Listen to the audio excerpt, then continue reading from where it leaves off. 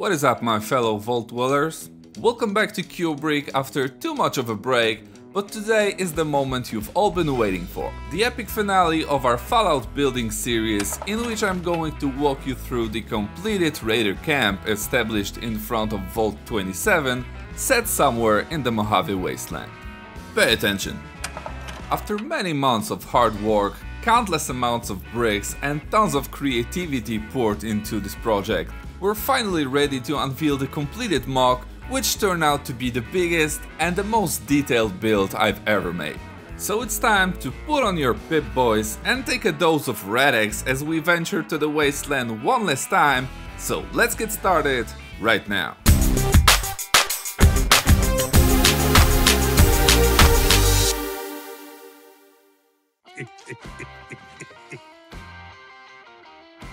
Welcome back. But before we jump into it all, first as usual, I have to say a few words because there's been a lot of going back and forth with this MOC and I need to set things straight. As I said in the intro, I consider this episode to be the finale of this build as this was the first idea I had to make just the camp in front of the vault, but as you know, with the growth of this build, also the idea of making the interior arose. Question is, will you still want the same things when you have become a different animal altogether? Well, I think I need to postpone this one a bit. To be honest, I was facing a little burnout during this series with not having as much time as I would like to, and well, I've been making it for how long? A long time. Yeah, since January of this year, so I got a little tired of seeing the same build over and over again. aboard, and I want to shoot something. So what are we going to do now is label it as Season 1 and put it away for a while. I know that many of you would like to see some other builds as well, so I'm going to take a break from Fallout and focus on a couple more projects and I will try to get back into making the interior of the vault in the future. Maybe when we get closer to the second season of the show. And speaking of making a show, I wanted to do something else for this finale, so not only the usual cinematic will be made in a slightly different way, but also I got inspired by another Fallout nerd with a totally different background, Scotty K. You know, this guy. So today, I will be stealing some of his lines. Not that serious. If you guys are into eating healthy and overall physical and mental health and wanna have some fun while you're at it, make sure you check him out on his socials, which I will link in the description of this video. But now, with all of that said, I think it's time to dive into this beauty of a MOC, so let's first check out the story cinematic and then we'll talk about all of the details I've included, so enjoy. Okay, here we go. War. War never changes. It's been over 200 years since the bombs fell and the society is scattered. Some living in harsh and dangerous wasteland, trying to rebuild society or just struggling to see another day. Some, more lucky ones, living in numerous vaults spread all across America. But as it turned out, most of these vaults were never meant to save nobody and were just made to conduct all sorts of experiments on their inhabitants. And one of those vaults is where we begin, Vault 27. A place not many know about that was supposed to be overcrowded since the beginning, with 2000 people living inside being a double of the total sustainable amount. The goal of the vault was to study how individuals would survive in such conditions. That led to years of inner fighting, after which only a handful of inhabitants survived and had to restart their way of life. But those who survived learned to cope with the new way of life and managed to live here for the next 200 years until the Reclamation Day. And on this day, one of the residents was chosen to be the first Vault dweller to learn about the post-nuclear world and pave the way for others. Little does he know, getting out of the vault will not be as easy as just walking out of the main door because the wasteland has its own rules. Just outside of the vault entry, a group of raiders made their settlement with hopes that one day the door will open, allowing them to take it as their own. Led by their overboss, a former Praetorian in the ranks of Caesar's legion, they managed to make a solid base using all of the resources they could find by raiding nearby settlements, with lots of scrap structures, fortifications, and all of the necessities required to make their own rugged society. With all these raiders stationed here, armed to their teeth, it's not going to be an easy day for our dweller as his story begins. After all, the war on the wasteland is never over. And war, well, war never changes. Okay guys, so now that you know what the concept for the story is, let's check out the Raider settlement in its full glory because I poured so much time and passion into each detail that I need to talk about them all.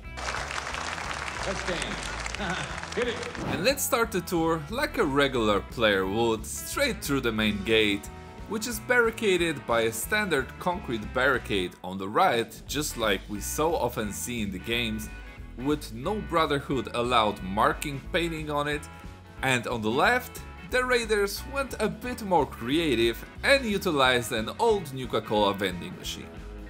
All is standing on a very detailed SNOT road that I probably spent way too much time on to include all the cracks and holes, and of course we had some random scrap laying around, some weed sticking out, a fire barrel to shed some light during the night, and I even made a frag mine just to be sure that no one sneaks in too quietly. As for the rest of the fortifications, we have our standard junk fences on both sides that may not be identical but rather inspired by the game, but I gotta say that they still turn out great, if not even better. Well, maybe not. Okay, so on the right side, we have some sort of a covered shack made with some scrap wood of course, surrounded by old tires which must be the most common trash piece we come across in any of the games, with a crooked roof over the booth, not only as protection against throwables, but of course also against the unforgiving Mojave sun. And here is where I place my first teddy bear I've included in this build, because what kind of a Fallout MOC would it be without several of those scattered around, right? Looking from the inside, we have a crate filled with loot like some cams, dandy boy apples and some explosives and guarding the station, we have a raider peeking from the opening looking for some potential threats. Besides the shack, we of course got a lot of junk laying around on this side, with a couple of skeletons from before the war, guess they didn't reach the vault in time, the Lone Wanderer bike from the previous version of the layout, and continuing the fence, a piece of a different type of a barricade, being just a simple wired fence I made out of a net piece stretched between two posts.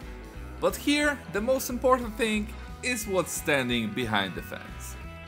Here we have our machine gun turret that for sure will help in defending the camp from any unlucky scavengers that want to approach from this side and behind it we have some sandbags, crates and tires, just to have this part more secure in case the enemies will somehow be able to shoot through. Now before we check out what is behind all of this stuff, let's first take a look on the other side of the junk fence to have the overall idea of the entire outside fortifications. So we have a piece of a fence you've already seen in the previous episode if you're a regular on this channel, but this time expanded up with an additional walkway just to have another lookout spot for this little cam enthusiast.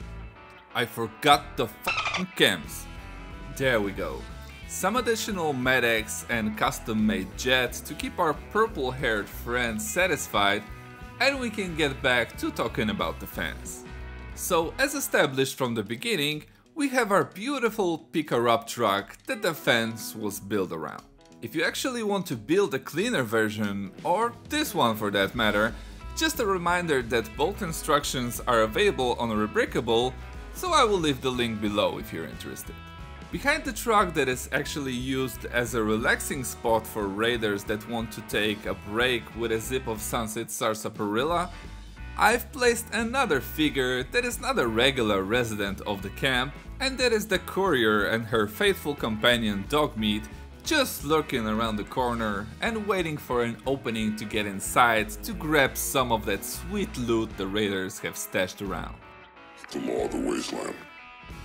Now moving on with the fortifications, I made a kind of a tower connected with a fence with an old school bridge from one of my Islander sets that fits here just perfectly, allowing the raiders to get to the upper part of that wall. The tower itself may not be the most complicated structure around, but still a great addition to the entire settlement, as well as being a place to stash so much more random items in, and the thing I'm most excited about here is that I was finally able to use this huge sail I had laying around for about 7-ish years, so I'm really glad I kept it for so long as it fits here perfectly. Inside besides the regular crates filled with random junk, I even added a Vault Boy figurine next to it, and we have ourselves a sweet looking Raider variant of the most popular in-game collectible. Of course, the inside part of the fence is finished up nicely as well using all sorts of different wood-like pieces, but let's finally move away from the fortifications and let's see what is actually happening inside of the camp.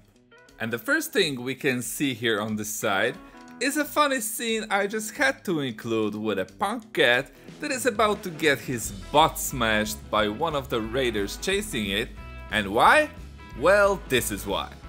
Instead of using this beautifully crafted toilet, the cat decided to make a number 2 right here on one of the crates, which if you're a cat owner, you know it tends to tickle some nerves.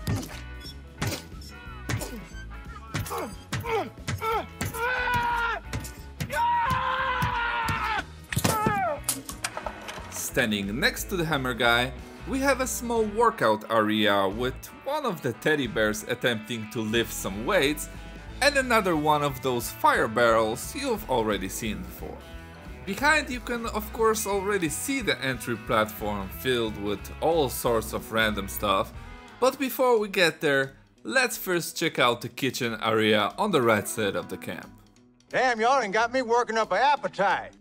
To get to it, we first need to walk by a pile of junk that nobody seems to care about, because one of the raiders even sat down here to enjoy his food and drink, but I made here a wooden pallet, a barrel with some bones, and even a clipboard as another in-game item I wanted to recreate. Behind it, we first have our food storage area covered by another one of those big brown sails, again with some containers, a bottle of Nuka-Cola, a dead egg, and even a Nuka Girl poster stick to the wall of the vault. And in the actual kitchen area, we have a small table with yet another bottle of Nuka-Cola, a slab of meat, and some mutfruit in a bowl. But here, my favorite piece is the cooking station over a fire pit that actually came out almost identical to the ones from the game and I even managed to put a mole rat over the fire, which just completes this part perfectly. And of course, as usual, all the terrain had to be covered in some trash, stones and weeds, and another bowl. Okay, and now we can finally move on to the center platform, which is the heart of the entire settlement. What a disgusting idea! On the left side, we naturally had to have a ramp leading up to the tower, with some valuables stored below in bags and an old drawer, with some caps and a couple stacks of pre-war money. Behind the ramp, we have another one of my game accurate crafting stations, this time being a weapon workbench and also a crate with some tools and a cherry on top, which is a Mr. Pebbles poster to keep the crafting sessions more enjoyable. Now moving on to the right side of the platform, we have a small but very packed table I made using a small door piece with a bunch of weapons and consumables, and behind yet another crafting station that I'm sure that many of you will appreciate, and that is the power armor station with the Raider modified power suit.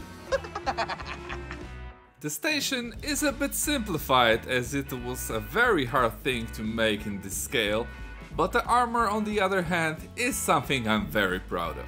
You probably already seen the suit before in a simpler version that I showed at the beginning of this series, but I modified it now with a couple parts to make it look more Raider-like, and it turned out just awesome.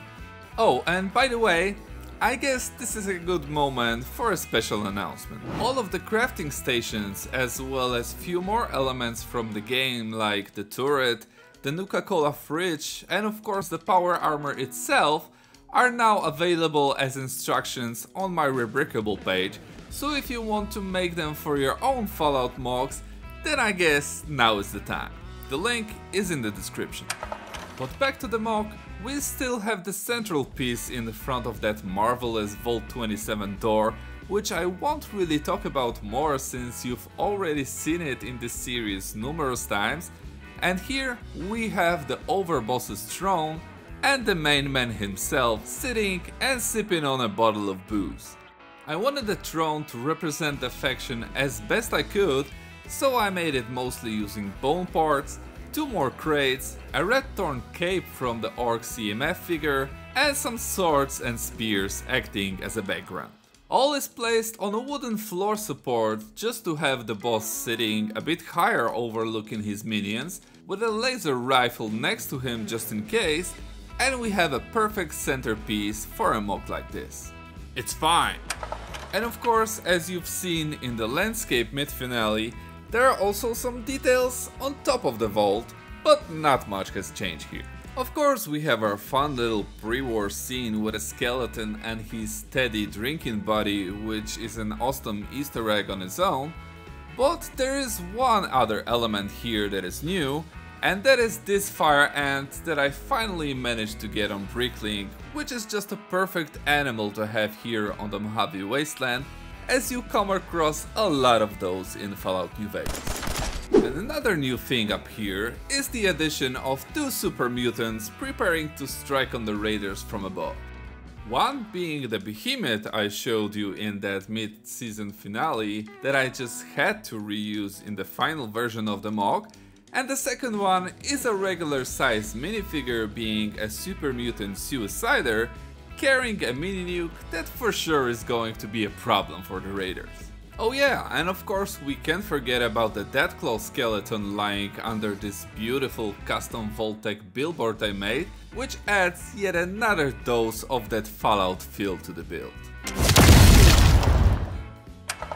Now venturing inside, of course there is a small portion of the interior done, meaning the wall is finished nicely, and the catwalk is here, well at least a part of it as you've already could see in the previous episodes of this series, but there is no point of getting into too much details about this section, because like I said, the interior of the vault will be a topic for a different time. So for now... This will have to do. And there you have it guys. I think I talked about all of the details included in this build and indeed, it turned out to be the biggest and the most detailed one I did so far. And since it also became my favorite, I just can't tear it apart like I usually do. I will definitely continue this MOC in the future, but like I said, I need some time to recover after over 8 months spent on it, so we'll get back to it sometime around the second season of the Fallout TV show. I think that should be enough time to rest from this MOC, build some other ones as I have a ton of different ideas I want to show you, and maybe come up with some original, not yet seen form of making the vault interior. To the future. To the future. And if you still don't have enough of LEGO Fallout, then you definitely have to check out my friend's Red Rocket MOC on the channel Klocki Zapałem, as he is finishing his build right now as part of our little collab that we want to display somewhere on an exhibition next year. He put a lot of work in his part as well and it will be a great addition to my build when we put them both next to each other, so if you want to check out how he's doing, I will leave the link to his channel in the description below, where he already uploaded two episodes of this series and the final one will be coming in a couple of days, so make sure you give him a follow. But now, I wanna thank all of you who joined me on this post-nuclear adventure, whether it's been from the start or somewhere in between the episodes, because I made it through all of these months mostly because of your support. And if somehow this is your first time here on Cube Brick, then make sure you check out the previous episodes where I break down the build process step by step, showing all the cool techniques that allow me to make this plastic masterpiece and of course subscribe to the channel and drop a like if you haven't done that yet. I will see you all soon in the next video here on Cube Brick and until then guys, as always, just make sure you keep it bricking.